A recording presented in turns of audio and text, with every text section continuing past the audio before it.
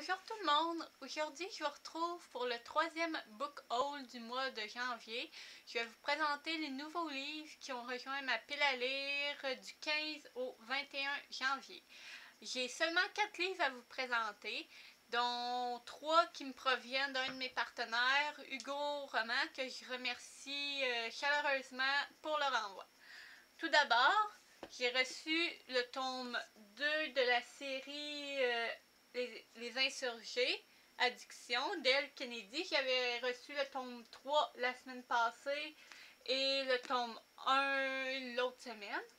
Donc j'ai vraiment très très hâte de me mettre à cette série. Euh, je ne la connais pas, j'ai pas trop entendu d'avis, donc ça va être vraiment une découverte. Ensuite, j'ai reçu le dernier livre de Calendar Girl, décembre Audrey Carlin.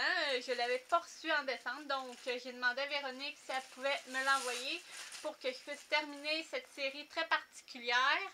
Et il me reste septembre et décembre à lire, donc euh, j'ai très hâte de vous présenter mes derniers avis. Ça va être sûrement lu d'ici la fin du mois, si c'est pas début février. Ensuite, dernier livre de la part d'Hugo que j'ai reçu, c'est la toute nouvelle sortie d'Alessandra Thor, Hollywood Dirt. Vous l'avez sûrement entendu parler parce que je l'ai vu beaucoup passer pour ma part. Donc, j'ai hâte de voir ce qui m'attend dans cette comédie romantique. Et finalement, le dernier livre, c'est un livre que j'ai trouvé dimanche, le 21, dans une boîte aux livres. Euh, quand je l'ai vu, je me suis dit « Ah! Je euh, vais le prendre. » Il s'agit d'Acide sulfurique d'Amélie Nothomb. Donc, euh, j'aimais ça et je trouvais la page couverture, il était beau. C'est après, quand j'étais arrivée à la maison, que j'ai réalisé que il était certaines pages étaient pliées.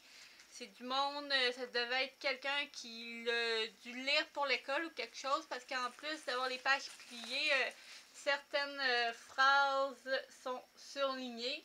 Donc ça, j'aime pas trop ça. Je fais jamais ça dans mes livres. Ils sont tout le temps beaux, mes livres. Mais bon, on va pas faire de chichi comme on dit. C'est juste des pages pliées puis quelques surlignages. Mais bon. Au moins, je l'ai en ma possession. C'est un livre qui fait partie des 500 livres euh, préférés euh, de tous les temps. Quelque chose du genre, du challenge que je fais partie.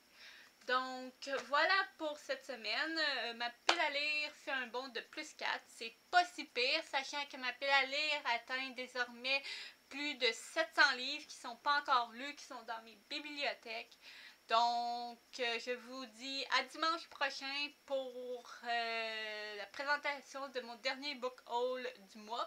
J'ai déjà reçu deux livres des éditions scolastiques et je vous les présente la semaine prochaine. Au revoir!